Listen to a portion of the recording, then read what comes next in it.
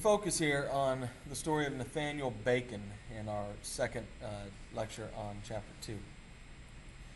Because I think the story of Bacon is very instructive not only to the colonial period, but also to the revolutionary period that's going to happen 100 years later. From 1642 to 1677, the governor of Virginia was a man named William Berkeley, and he completely dominated uh, Virginia. Um, by 1644, Virginia had pacified the Native Americans in the western part. That's the part away from the coast, right? And they had established a boundary, they had established a line and told the Native Americans, you can stay on that side and, and the English colonists will be on this side. And this leads to a period of rapid growth in Virginia. Between 1640 and 1660, the population of Virginia goes from 8,000 to 40,000. Virginia's finding a lot of success. Berkeley will at once team up with the large landowners to try to prevent new large landowners from gaining power. And at the same time, he'll start having secret deals to trade furs and other goods with the Native Americans in the West. Uh, now, this is a little shady because these two groups are pretty strongly opposed, and, the, and, and particularly the, the backwoods planters, the people in the West who tend to be poor, smaller landowners, freed indentured servants for the most part, hate the Native Americans and see them as their, their great enemies. So if they had any idea that Berkeley had, was doing business with them, they would be angry. But they don't yet. And into this environment, in uh, the 1670s, comes a man named Nathaniel Bacon. Now, Nathaniel Bacon is what we call a second son. He was actually further down the line than just second. But the term second son means this. Back at the time when, if you were to die, if you were a man and you died, your property would go to your oldest son. It would not be divided, it would just go to the oldest son. All your other children might inherit some money, but they would not inherit any land, so they wouldn't inherit any real source of wealth for the long haul. And so second sons had to find some other, second, third, fourth, fifth, and sixth, and so on sons had to find some other way to support themselves and, and make their money in the world.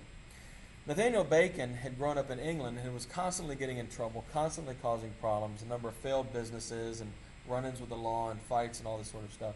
And so eventually his family encourages him to move to Virginia and find his fortune there.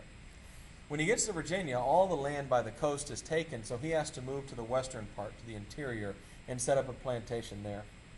He asked to join the council, and as a high ranking noble son, uh, as son of a nobleman, he kind of has the right to join the council in a way. That's kind of an expectation. But Berkeley is uninterested in letting new uh, landowners into the circle of power, tells him no.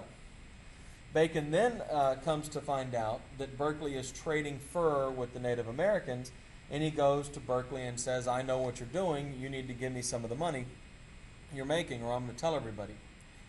And Berkeley uh, refuses. Bacon then asks if he can expand his plantation beyond the line that has been set up, separating the Native Americans and the uh, uh, the settlers, and Ber- the governor Berkeley again says no. Bacon getting ang- uh, is getting increasingly angry. And in 1675, when a war breaks out between the settlers and the Native Americans, the settlers, of course, are trying to expand west into Native American land. Berkeley refuses to send the militia to help and says the settlers started the war, they should deal with it. The settlers organize themselves into a militia, and Bacon becomes their leader, their general.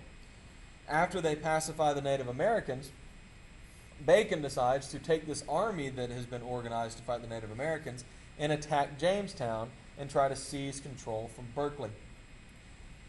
He does this, and the settlers and Bacon take uh, the poor settlers, I should say, the freed indentures and the, the small farmers, take Jamestown. Um, uh, Berkeley pardons Bacon and promises Bacon that he'll allow him into the circle of power and allow him to start making money off his crooked businesses and stuff. But as soon as Berkeley goes back to his plantation, Berkeley reneges and orders Bacon arrested. So Bacon reorganizes his militia, goes back to Jamestown. Berkeley runs away.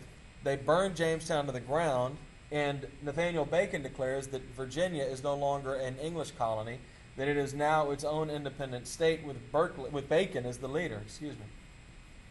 He negotiates a peace treaty. Uh, um, no, scratch that. Never mind. But then something unfortunate happens from the point of view of, of, Bacon, anyway. He gets dysentery and dies. That's literally where you get diarrhea until you dehydrate and die. Berkeley returns, seizes control of the colony, returns it to royal control, negotiates a peace treaty with the Native Americans, and for the most part, things go back to the way they were. Now, this is the American Revolution 100 years too early.